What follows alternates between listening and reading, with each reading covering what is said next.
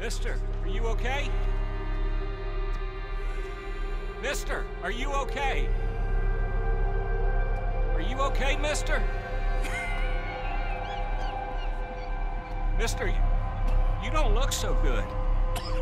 Let's get you to a doctor.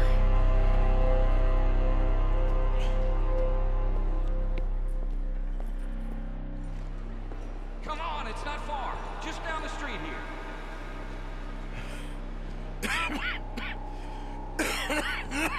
Give me a minute. Give me a minute. I'll be fine in a minute.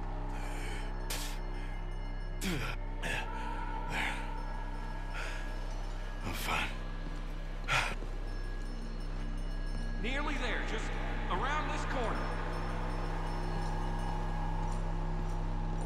Now you head in there, friend. Go on.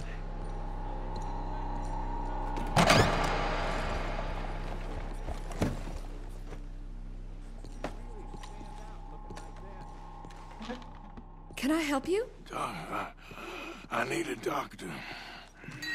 Oh, uh, just one second, sir. Come in, pal. Come in.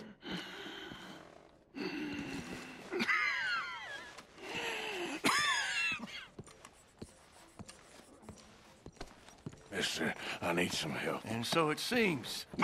and that's Doctor, Mister to you. I'm sorry. Uh, I was joking. Look, friend, I don't mean nothing, but you got money? I mean, before I start treating you, because I got a family. I understand. Here, that do you? Uh, sure. Thank you.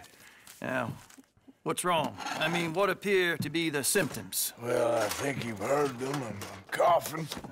Is there any blood? Sometimes. Okay, now here. Breathe. Again. Let me see your tongue. Now Say ah. Ah.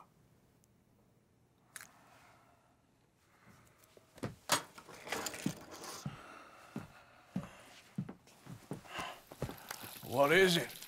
It's not good news. I guess that. You got tuberculosis.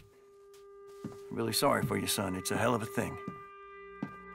What you mean? You're real sick. You. It's a progressive disease, and you'll be. Now, the best thing is rest and getting somewhere warm and dry and taking it easy. Now, is that possible? Sure, I can just take my winters in my country club in California. No, it's not possible. Well, like I said, I, I'm real sorry. Yeah, well, Yeah, oh, wait, wait. Uh, let me get you a little bit more energy today.